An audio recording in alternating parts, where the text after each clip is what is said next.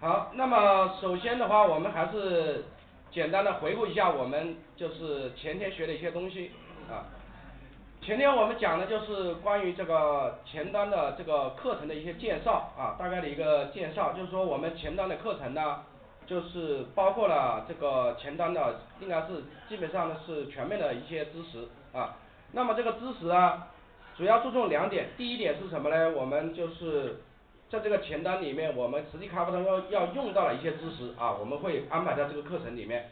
那么还有一点就是说我们这个面试中要用到的一些知识，然后安排在这个课程里面啊。主要着重这两点，那么着重这两点的话就是这个课程量相对来说是比较比较精简啊比较就是就是实用是吧？一些边角的东西我们照顾不到，因为我们有只有十八天的课程是吧？那么的话呃着重这两点的话才能帮助大家真正的啊在这个实际开发中以及工作中啊得到有呃有用的啊比就是说真正能帮到大家是吧？那么着重这两点就可以了啊。呃那么接着呢我们说到的是这个关于前端的一个啊大概的一个介绍是吧？那么前端什么是前端开发是吧？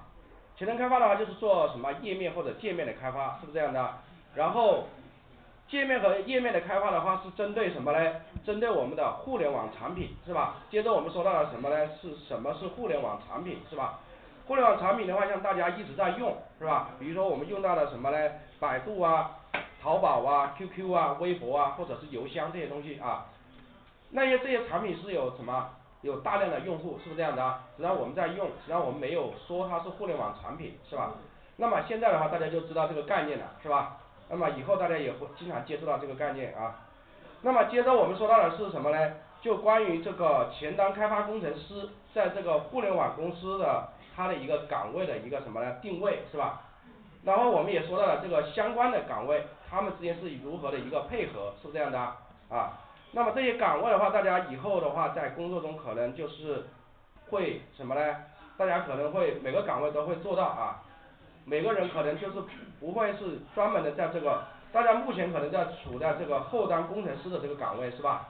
以后大家可能会转岗啊或者是晋升是这样的那么的话可能会做到其他的岗位啊。那么这是一个呃互联网公司的它的这个岗位的这个划分啊。好接着的话我们说到的是就是说既然你前端开发工程师在这个岗位上那么他的话需要些什么技术呢是吧？那么接着我们按照这个岗位的话就说了一些前端开发工程师需要掌握的一些技术比如说呃 photoshop 啊 H T M L C S S 是吧？然后 JavaScript 以及 JavaScript 的一些框架一些库是吧？那么我们需要学这些东西啊。那么首先的话我们就是从什么嘞从这个 H T M L 这个语言开始什么？切入开始学习这个前端的一些知识啊。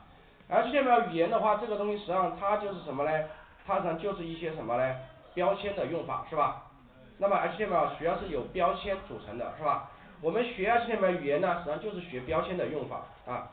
那么接着我们说到的是关于这个 H T M L 这个标签的它的一个结构是吧？一个 H T M L 语言的这个文档的基本结构啊。文档基本结构的话那么是大致上是按照这个来的是吧那么这个结构的话我们大概的了解一下可以了可能大部分我们编程的时候怎么样呢？是直接用快捷键吧是吧？那么大家唯一的需要注着重的一点就是说我们的网页上显示的内容一定要放在什么？body 标签里面是吧？放在 body 标签里面。然后这个网页的什么嘞呃头部的一些信息是主要放什么嘞网页的标题以及什么？就是网页的一些设置的一些信息是吧以及外链的一些资源啊我们就放在这个 head 标签里面啊。好那么这个是关于一个网页的一个文档的基本结构啊。接着的话我们说到的是网页有两种现在目前常用的什么网页的格式有什么两种一种是什么嘞？X H T M L 一点零一个是什么嘞？H 五是吧？X H T M L 一点零呢那么目前的话我们就是有很多网页是吧以前做的网页现在沿用过来了是吧大家在实际开发中可能会碰到是吧 H 五的话是最新的是吧啊那么的话大家可能会碰到这种这种格式的网页的话怎么样呢它可能就是说跟我们的 H 五的网页啊就是大部分的使用的方法是一样的，可能有部分地方不一样，一个是什么呢？文档声明以及什么呢？这个编码声明是吧？文档声明和编码声明啊，那么的话用的话是一样用，然后的话 H 五的话还有一些什么呢？新增的一些标签元素以及属性啊，这个的话我们会在什么呢？这个 H 五的这个呃这个课程里面会讲到啊，其他的用法基本上是一样的，是吧？啊，好，接着我们要说到的就是，既然学 HTML 就是学标签是吧？那么我们就一个个的标签往往后面学是吧？那么首先讲到的是什么呢？我们实际上这个结构讲这个结构的时候已经学了什么呢？六个标签的吧是吧？六个标签的用法。那么接着是关于这个注释这个标签是吧？注释这个标签的话是这种写法，是不是这样的啊？好，接着我们说到的是关于这个标题的标签是吧？标题的话就相当于是有六级标题啊，六级标题，那么 H 一到 H 六是吧？那么的话一级标题就是 H 一是吧？这样子的。然后这个标签的话它是什么呢？它是属于什么？就是成对出现的是吧？然后这个标签很重要的地方是什么呢？因为它牵涉到什么？搜索引擎的优化是吧？那么你这个牵涉到这个网页的文档的结构的一个描述，所以说我们在用这种标签的时候要特别注意啊，要尽量用这种标签。如果是标题的地方的话，一定要用这个 H 标签是吧？啊，接着我们说到了一些其他的标签，比如说这个 P 标签是吧？P 标签的话是指的什么呢？段落是吧？段落，那么它相当于是什么？它有语义吧？这个 P 标签是有语义的是吧？就表示一个段落啊。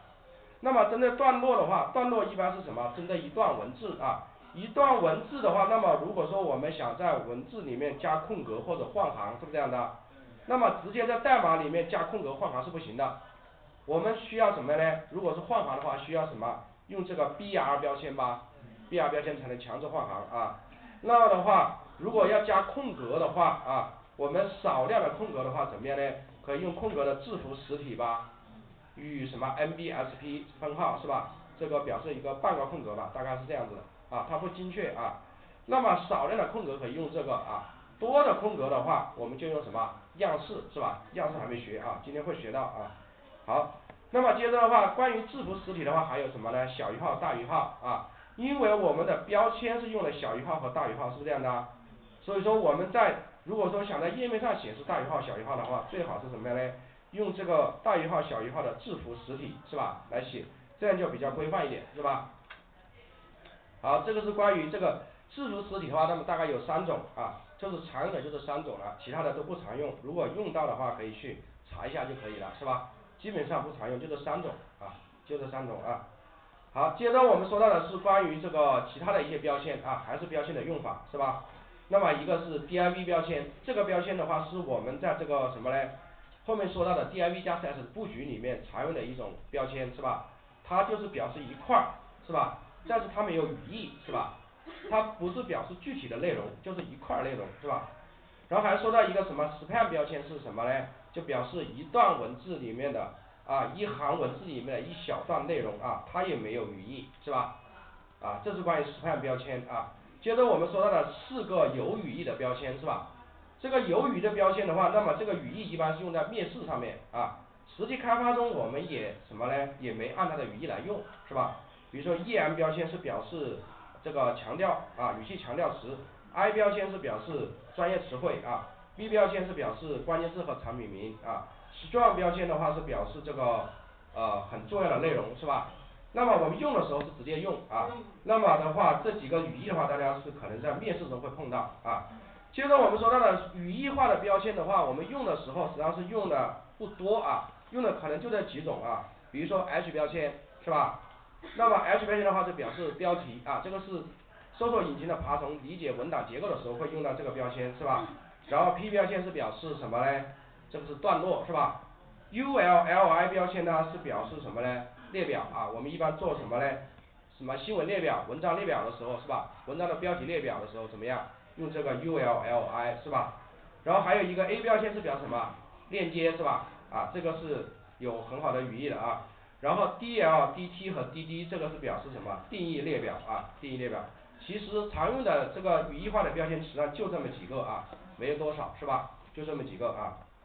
好，接着的话我们说到的是关于这个，就是我们网页上如果是插入图片是吧？插入图片的话用什么嘞？我们要用什么？IMG 标签吧，IMG 标签啊，IMG 标签的话，那么它的主要是有两个属性是吧？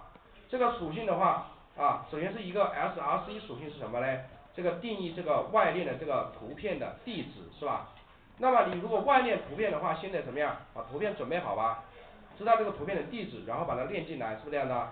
然后还有一个 alt 属性是话，是定义这个图片的什么描述文字是吧？那么这个 alt 属性是非常重要的，是吧？那么它的话，一个是搜索引擎是吧？会搜这个文字来识别这个图片，是不是这样的？另外一点的话是这个如果是图片加载失败的时候，那么会显示这个文字。还有一点的话就是无障碍阅读是吧？盲人在在在看网页的时候识别图片是吧？认识图片的时候，读屏软件会读这个文字是吧？啊，那么这个 alt 属于是很重要的啊。那么接着我们又说到这个 image 这个标签是怎么样？它是什么？它是一个单个的标签吧？是吧？它没有一对吧？它是一个单个的，大家看啊，它是一个单个的标签啊。好，接着我们说到的什么呢？关于这个引用的外部资源的这个路径的问题是吧？那么有绝对路径和相对路径的说法是吧？那么一般的话我们是用相对路径是吧？相对路径啊，这个路径我们后面会经常写的啊。那么绝对路径的话是相对于磁盘的位置，相对路径的话是相对于我们这个网页本身去定位什么呢？我引用的资源是不是这样的啊？相对路径主要有一个点儿杠是当前目录是吧？当前目录项这个可以省略是吧？点点杠是表示什么呢？当前目录的上一级目录是吧？啊，这是这两点需要记住啊。那么绝对路径的话，相当于是通过磁盘的位置去定位这个资源啊。那么这个的话。如果用绝对路径的话，在我们项目迁移的时候容易出问题是吧？那么可能别的那个电脑里面可能就没有这个盘符对应的资源，是这样的，那么就会出问题啊。如果用相对路径的话，就兼容性好一点啊。那么一般的话，我们用相对路径啊。好，接着我们说到的是关于这个啊链接标签是吧？那么我们超文本标记语言里面一个很重要的功能是超链接是吧？那么 A 标签就可以做超链接啊。超链接的话，就是我们通过这个 hook 属性可以定义这个链接的地址，是吧？通过这个 title 属性是可以定义这个链接的什么呢？我们鼠标放上去这个链接的时候会显示一个提示文字，是吧？然后 target 的属性的话是定义什么呢？我们这个链接怎么？就是它链接的窗口是在本窗口打开替换掉原来的网页，还是说新开一个窗口，是吧？打开的这个网页啊，就这几个属性啊。好，这是关于链接啊。如果说我们想对图片做链接的话，我们用这个 A 标签把一个图片包起来，是吧？好，这里没有没有例子啊，就是 A 标签把一个里面再塞一个图片的标签，是不是这样子啊？就可以把图片做链接啊，是这样子，是吧？好，这是关于链接啊。好，接着我们说到这个三种列表是吧？一个是有序列表，一个是无序列表，还有一个是什么呢？定义列表，是吧？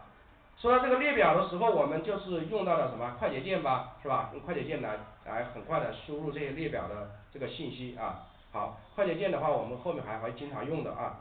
好，这是关于，那么用的最多的就是这个无序列表，是吧？无序列表的话，那么我们一般用在什么呢？就是这个关于这个新闻标题以及文章文章标题列表的时候，会用到这个无序列表，是吧？好。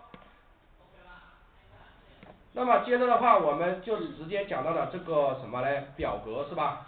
啊，表格的话，那么常用的表格的标签的话，实际上是就是有啊四个标签是吧？那么 table 标签的话是什么呢？就是定义一个表格，声明一个表格是吧？啊，那么 tr 的话是声明表格里面的一个一行是吧？td 和 th 的话是声明表格里面的一个单元格，是不是这样的？td 的话是声明普通单元格啊。T H 是声明什么呢？这个表头的单元格是不是这样的？表头单元格啊，那么它们两个用法是一样的啊。那么针对这个表格的话，我们就做了一个类似这样一个例子啊。这样一个例子的话，那么主要的就是难点就是什么呢？关于这个单元格的合并是不是这样的？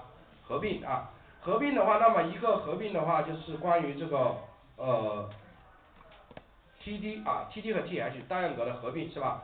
一个合并，那么主要的，比如说横向合并的话，我们用什么呢？cospan 吧，啊，cospan 横向合并啊。纵向合并的话，我们用 row span 是不是这样的？纵向合并啊。好，那么的话这是关于这个合并啊，然后的话关于表格里面还有一些什么嘞？